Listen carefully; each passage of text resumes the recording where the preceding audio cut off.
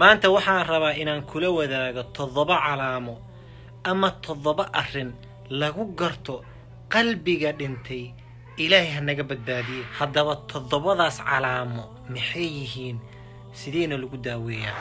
Alxamdu lilah wsalaatu wasalaamu calaa rasuuli illah walaalama joogtaan? Assalaamu calaykum waraxmat ullaahi wabarakaatuhu.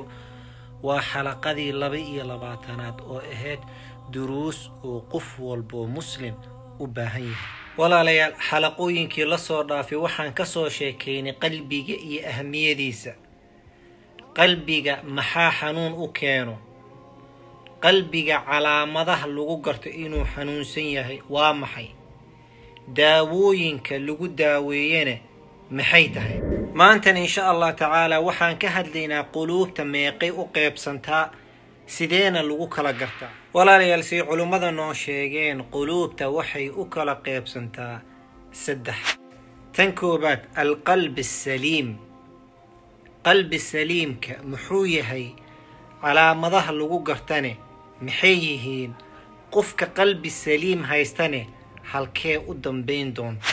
Kan labaad waa alqalbi almayit qalbi almayit muxuu yahay? Qalbiga dhintay. Maxaa lagu gartaa qofka qalbigiisa mayit yahayna halkee u dambayn doonto. Tan saddexaad waa alqalbi almariid. Qalbiga xanuunsan. Alqalbi almariid maxaa la dhahaa? Maxaa lagu gartaa?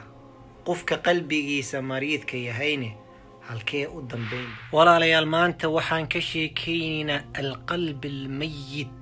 Qalbiga dhintay ilaahaan ka magangalnay.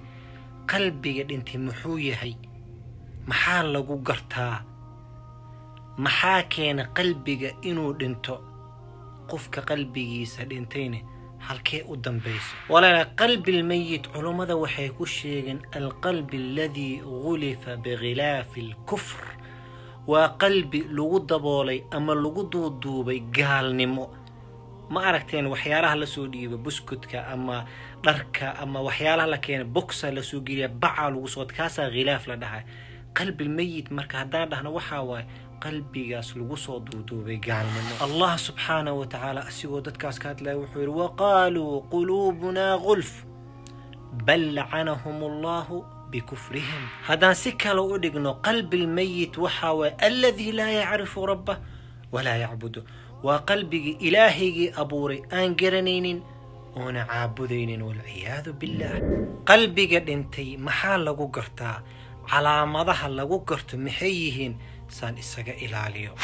Tan koowaad albucdu can dikri illaah haddaa aragtid qalbigaaga inuu ka fog yahay ama ka fogaanayo dikriga ilaahay ogow qalbigaaga wuu dhintay. Nebiga sala allahu calayhi wasalam wuxuu yidhi xadiid muttafaq caleyh ama muslim soo saaray mathal aladii yadkuru rabbah waaladii laa yadkuru rabbah mathalu alxay waalmayit qofka ilaahayd mar kasta xusaayo iyo kaan xusaynin waxaa waaye mid nool iyo mid dhintoo kale.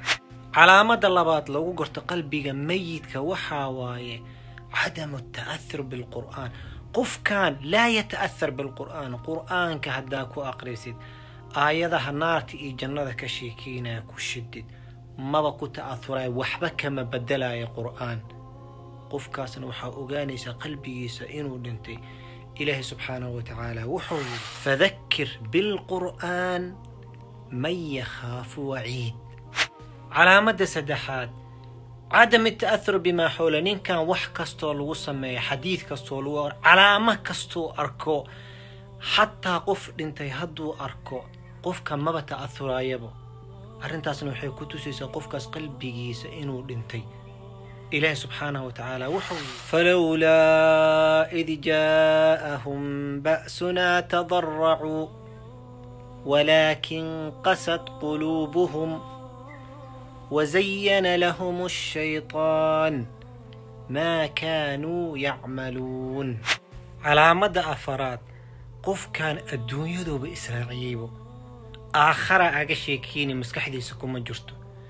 adduunyo wax walba salaadii u aga tegay oo soonkii u aga tegay qaraaba xiriirintii u aga tegay waajib kastuu u tegay naftiisaba adduunyaduu raaciyay ilaahi subxaanahu wa tacaala wafarixuu bilxayaati addunya wama alxayaatu addunya fi laakhirati ilaa mataac calaamada shanaad diiqi sadr qofka markii dikriga ilaahi lagu sheega ama markii qur'aan lagu aqriyaba qalbigiisaba ma jooga ciriiri u dareemaa waa ma adkaysan karo. Ciriiriyuu dareemaa wuuba ka cararaa meesha. Taasna haddaa aa isku aragtid ama aa ku aragtid qof ugow qofkaas qalbigiisa waa dhintay.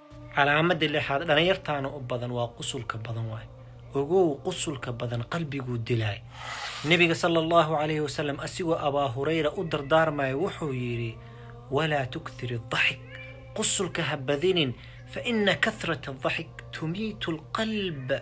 Qusulka badan qalbigii dishaaye ha badinin qusulka badan. Calaamada toddobaad oo ugu dambayso lagu garto qofkan qalbigiisa inuu dhinto waxaa waaye salaad maba imaanaya ilaa asiguu jiitamaya kasal waa salaada markii la sheegay caajisa ku dhacaya haddii arrintaas jirto qof ku aragtid ama isku aragta calaamadaas qalbigaaga ka gaar.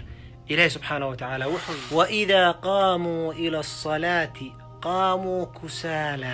Aayad kanan ilaahi subxaana wa tacaala wuxuu ku yidhi walaa ya'tuuna asalaata ilaa wahum kusaalaa su'aasha saddexaad maxaa keeno qofka inuu qalbigiisa dhinto kow xub adunyaa qofka adduunyada inuu jeclaado adduunyada jeceelkeeda meel xunay kaa tuuraysa xalaal iyo xaraam kuuma kala saarayso say kuu wadda kuu wadda jimcada ay kaa reebayso xalaal qofka inuusan jimco tukanin jimcada labaad tukanin jimcada saddexaad tukanin bikaas adduunyuu jecel ama iskuuluu ku mashquulsan yahay ama shaquu ku mashquulsan yahay. Xub dunyaa qalbigii dishaa nebiga sala allahu alay wasalam wuxuu yidhi qofkii ka tago saddex jimco xadiidkana laba jimco aaga tahay kas aaga tago qalbigiisa ilaahay wuu qufilaa qalbi la qufilayna dhimashaa ku xigto. Tan labaad waxaa waa alghafla. Qofkan waxaa dhanba haafiluu ka yahaybo shaqaba kuma lahabo aron care about what's going on waaye ilaahi subxaanaه wa tacaala asoo dadkaas ka digaya wuxuu yidhi ulaa'ika aladiina طabaca allahu calaa quluubihim wa samcihim wa absaarihim wa ulaa'ika hum alghaafiluun sababta saddexaad oo keenta inuu qalbiga dhinto si fiican u dhegayso waa saaxibka xun waaye يس صاحب كحن سوكو قلب جاجا ودمنا النبي صلى الله عليه وسلم وحير المرء على دين خليله فلينظر أحدكم من يخالل رسولك وحير قفك وحو للدين يهي صاحبك صاحبك هدو قال يهي أما نن منافق هي أما فاسق يا هي سوكو قلب جاجا ودمنا إسك إلالي صاحب وناكسن سميسو صاحب كحن إسكدا سببت أفراد waa kahrat wuquuci almacaasi. Qof haddii aragt dembi inuu galo ku celcelinaya dembiga ku celcelinayo oguu dembiga badan ku celcelinaysid qalbigaaguu dilaa. Markaa dembi geshid toobadkeen qof ku dhahaayo male dembi ma gelaysid. Ama dembiga mar kale ha ku noqonin qof ku dhahaayo ma dembi waa gelayaas laakiin ha ku celcelin dembi markaa geshid ka toobadkeen nabiga sala allahu alayh wasalam alithmu xawaazu alquluub ithmiga dembigan la galgalayo qalbiguu jiidanaa suu ku wada waxaa laga yaabaa qalbiga inuu dhinto. Rasul sal xadiidkan wuxuu ku yiri qalbiga markuu dembi galo dhinac madooba la saara dhinacaas ilaa markii dambe la dibagediyo uu meesha ku dhinto. Iska ilaali macsiyada aad ku noqnoqonaysid. Tan shanaad waxaa nisyaan ilmowt qofka maba raba inuu meyd laga sheekeeyabo wuu ishilmaamsiinaya dhimasha markii la soo no no igada igada uu ku leeyahay. Maya mowdka inaa xusuusatid dhimashada inaa xusuusatid maslaxa kuugu jirto.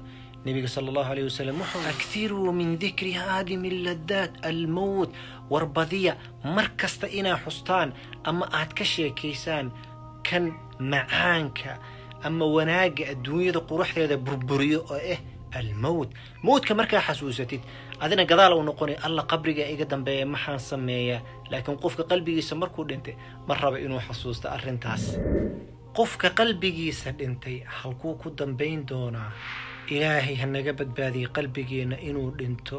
Laakiin qofka hadduu qalbigiisa dhinto naar jahannam ayaa u dambaynaysa lana gaalnimadiiu galay.